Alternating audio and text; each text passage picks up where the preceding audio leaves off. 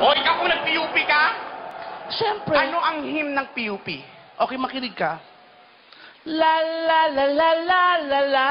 You can sing along with it. La la la. La la la la la. Ha!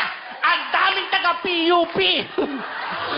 La la la la la la la la la la la la la la la la la la.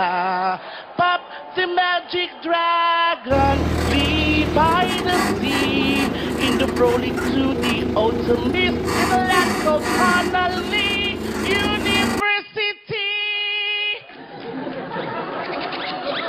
O, sandali lang. Kayong inaano nyo rin. Asa ng PUP doon? Bingi ka, di ba sabi ko, pop, PUP yun, the magic dragon, lead by the sea. Kapal ng mukha mo. Talaga. Nag-aral ako sa pinakamataas na paaralan dito sa Pilipinas para lang makuha ko yung gusto ko. Ikaw, Nag-aral din ako. Hindi lang halata.